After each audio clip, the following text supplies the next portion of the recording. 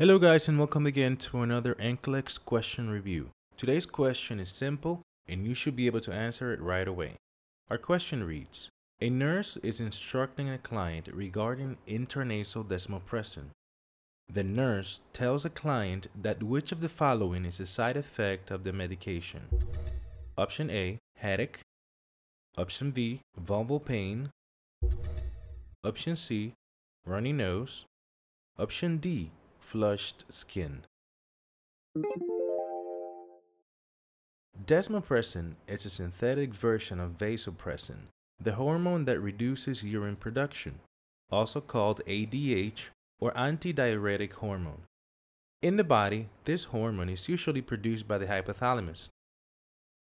Compared to vasopressin, desmopressin's first amino acid group has been deaminated, which means that the first amino acid group has been removed and the arginine at the eighth position is in the dextro rather than the levo form.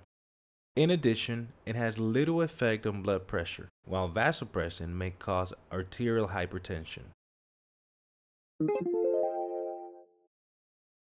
Desmopressin acts on the kidneys to reduce the flow of urine.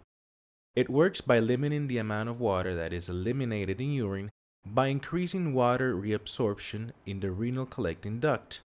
It increases the blood levels of clotting factors 8 and von Willebrand. Desmopressin is used to treat nocturnal enuresis, also known as bedwetting. This condition is mostly seen in children and it's described as involuntary urination or repeated inability to control urination. It is also indicated for the treatment of nocturia, now, this condition is described as a complaint that the individual has to wake at night one or more times for the sole purpose of voiding.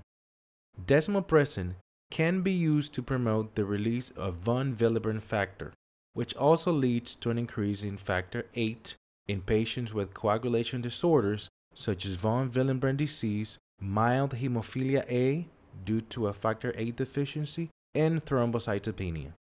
However, it is not effective in the treatment of hemophilia B due to a factor 9 deficiency or severe cases of hemophilia A.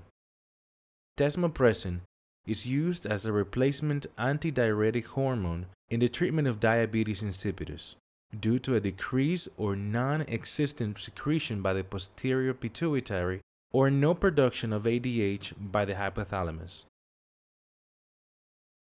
Desmopressin administered by the intranasal route can cause a runny or stuffy nose. As a strategy to answer this question, use a process of elimination and note the relationship between the words intranasal in the question and runny nose in option C. In this case, the only possible side effect for the use of intranasal desmopressin is a runny nose. If you answer C, you chose correctly. If you haven't already, make sure you subscribe to our channel for more NCLEX question reviews. If you like this video, don't forget to give it a thumbs up. That's it for now. See you on the next video.